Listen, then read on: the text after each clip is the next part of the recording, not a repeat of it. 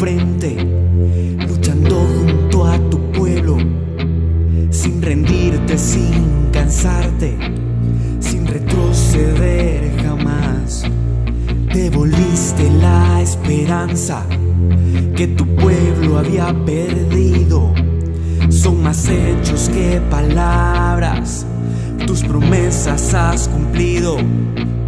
Y tu pueblo agradecido, triste pero satisfecho, quebrantado hoy te dice desde el fondo de su pecho.